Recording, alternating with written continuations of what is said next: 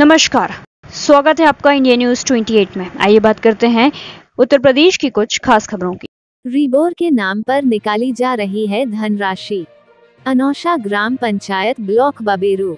जनपद बांदा के विकास खंड बबेरू की ग्राम पंचायत अनौशा में ग्राम प्रधान व सचिव मिलकर मनमाने तरीके से सरकारी धन का बंदर बांट कर रहे हैं।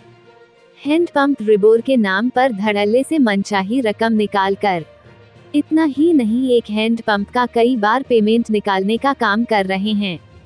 गाँव के लोगों को पता ही नहीं चलता और कि कब रिबोर हो गया, कितना पैसा कब कब निकाला गया।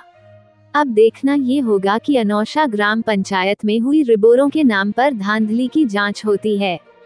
यह मामले को दबाने का काम किया जाएगा। ज़िले में बैठे उच्चाधिकारी क्या कुछ ऐसे भ्रष्ट सचिव व प्रधान पर कार्यवाही करेंगे या फिर साथ निभाने का काम? बांदा से संवाददाता हीरामन यादव की रिपोर्ट। कौन सा गाँव है दादा? अनौस अच्छा ये किसके दरवाजे खड़े हैं हम?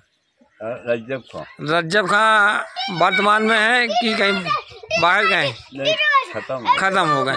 अच्छा रज्जब खां के घर के पास रिबोर का पैसा निकाला गया है। हाँ, तो दूसरा नल कहीं लगा है कि नहीं लगा? अब ये तो हम रज्जब के घर के पास दूसरा नल नहीं लगा। नहीं लगा।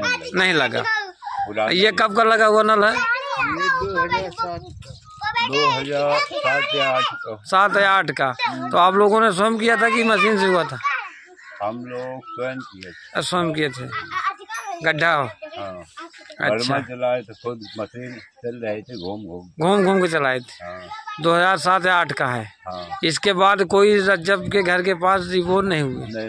और जो भी एक हुआ तो अस्पताल में हुआ। हुआ हाँ। अस्पताल के में हुआ है। हाँ हमारे दरवाज़ा है। काफ़ी दूर है।